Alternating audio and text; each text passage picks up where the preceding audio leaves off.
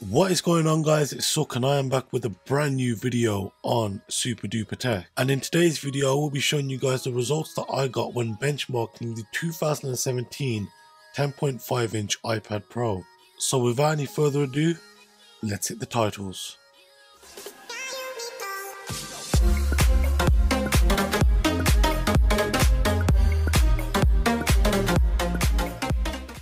Now the first benchmarking application that I did run was Geekbench 4. Now Geekbench gives a score for both single and multi-threaded tasks and after it has performed these tasks it will then give a score based on performance and the time taken. And as you guys can see the single core score that I did get was 3954 whereas on the multi-core side of things I got a score of 9279.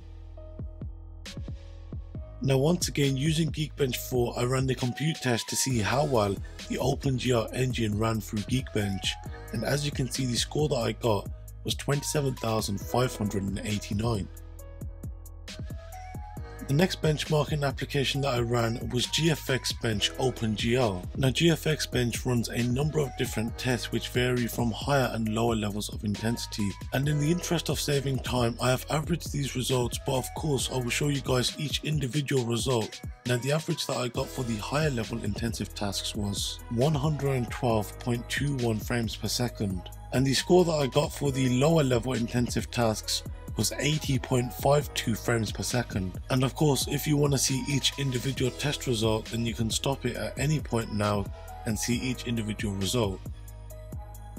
And once again, the next benchmarking application comes from GFX Bench, but this time we are testing the Metal engine. And just like I did with the previous test, I have calculated the average for both the higher and lower level intensive tasks. And as you guys can see, the score that I got for the higher level intensive tasks was 78.99 frames per second, and the score that I got for the lower level intensive tasks was 86.52 frames per second.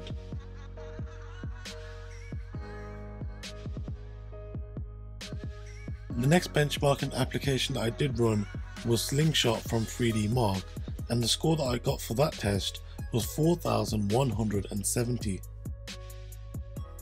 The next benchmarking application that I ran was the Antutu benchmark test. This tests out different aspects of the hardware from the CPU and the RAM down to how well it performs graphically. And as you guys can see the score that I got was 232,959. And lastly I exported a 5 minute 24 second 4K file at both HD and 4K. And surprisingly, the times taken for both of these exports was exactly the same as that on the 12.9 inch iPad Pro. And as you guys can see, it took 1 minute 29 to export at 1080p and around 6 minutes to export at 4K. So then guys, that has been it for today's video. I do hope you did enjoy it. If you did enjoy it, then make sure you smack that like button and if you are new around here, then why not subscribe? If you have got any questions as to what you've seen in today's video, then be sure to leave them down below in the comment section. And if you do want to see what videos are currently in the pipeline, then be sure to add me and follow me on my social media. Thank you guys very much for watching and I'll see you guys next time. Have a good one.